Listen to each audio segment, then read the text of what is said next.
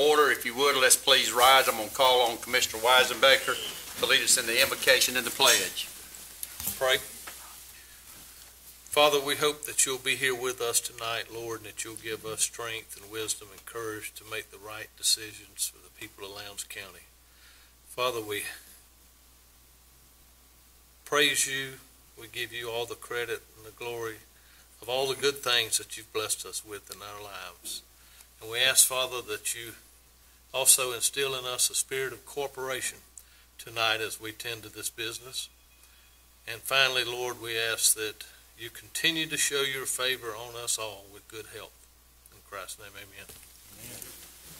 I pledge allegiance to the flag of the United States of America and to the republic for which it stands, one nation,